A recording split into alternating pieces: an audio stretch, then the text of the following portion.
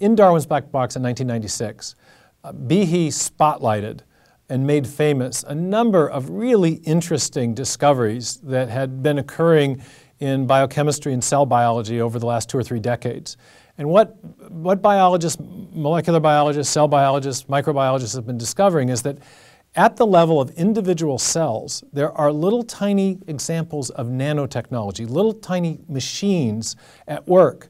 The flagellar motor is the one that Behe made most famous. It's a rotary engine that uh, powers a whip-like tail, a protein tail, that functions like a propeller, and it moves the bacterium through liquid, enabling the bacterium to essentially track down its food, its food supply.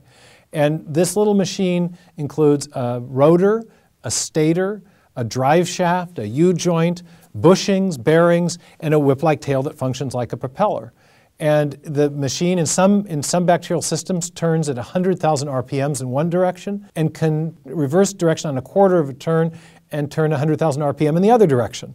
Bacterial flagellum is a true nanomachine, about 40 nanometers in size. It's amazing. I mean, E. coli, salmonella, which are kind of our model systems for the bacterial flagellum, can propel a cell about 20 lengths per second through a very viscous medium like water to these organisms. And you extrapolate that to human um, scale. 20 body lengths per second, six foot person, you know, times 20, 120, 120 feet per second. Mark Spitz or Phelps would be setting uh, records with this type of propulsion.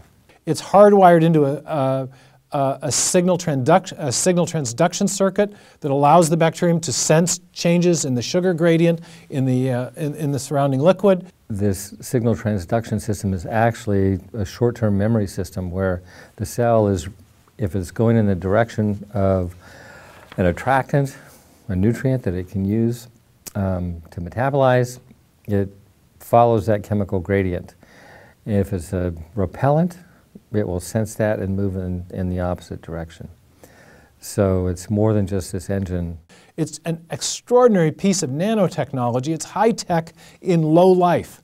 And so, uh, just by spotlighting these extraordinary pieces of nanotechnology inside cells, and the flagellar motor wasn't the only one, uh, one by any means, Behe, in a sense, opened up uh, a window for people. He opened up the black box of the, of the inner workings of the cell and said, look, this is much more uh, complex than anything that, than, than anything that the early evolutionary biologists had envisioned. Darwin knew nothing of this type of nanotechnology in cells, and at the very least, we've got to come up with an explanation for this.